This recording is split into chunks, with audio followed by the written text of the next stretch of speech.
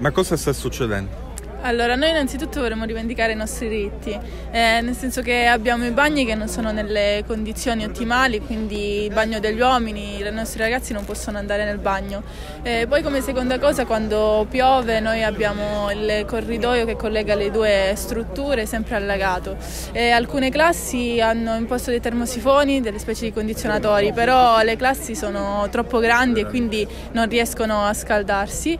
E quindi giustamente i nostri studenti si sono lamentati e io e Ottavio come rappresentanti di istituto eh, ci siamo riuniti insieme, abbiamo deciso tutto l'istituto di fare questa specie di protesta eh, per dire che comunque noi al nostro istituto ci teniamo e vogliamo che questo istituto sia nelle condizioni migliori anche noi per sfruttarlo e per viverci al meglio.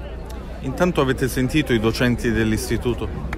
Eh, noi sì, abbiamo fatto innanzitutto una riunione tra noi, delle, tra noi, studenti decidendo il da farsi e abbiamo comunicato diciamo, questa nostra iniziativa agli, agli studenti, agli, ai professori eh, che mm, approvati o no comunque noi abbiamo portato avanti le nostre idee. E cosa vi hanno risposto? Eh, allora, alcuni professori erano favorevoli, altri un po' meno, però noi ci siamo uniti, abbiamo... l'unione fa la forza, no? si dice sempre così.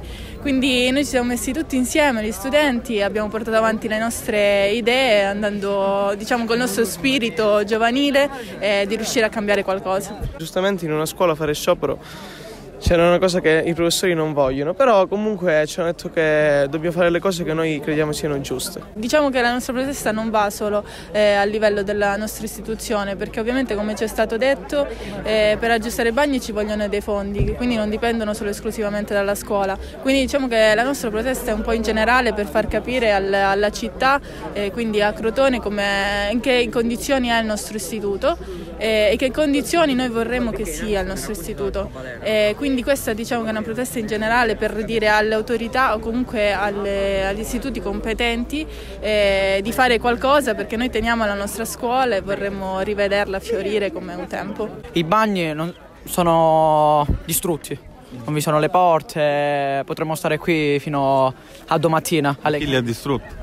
Eh, eh, c'è, c'è un'indagine in corso. I docenti intanto che cosa vi hanno replicato? Di far valere i nostri diritti, rivendicare i nostri diritti, come è giusto che sia. Bagni rotti, muri ammuffiti e tante altre cose. Tutto e di più. Esatto. Intanto i docenti oggi che cosa vi hanno detto? Ci hanno detto di ovviamente renderci conto di quello che stiamo facendo e di non esagerare. Fino a quando andrà avanti questa protesta? Finché il preside non viene qua e sceglie di parlare con noi. Se dovesse venire poi informatevi sul responso. Sì, certo. Ok.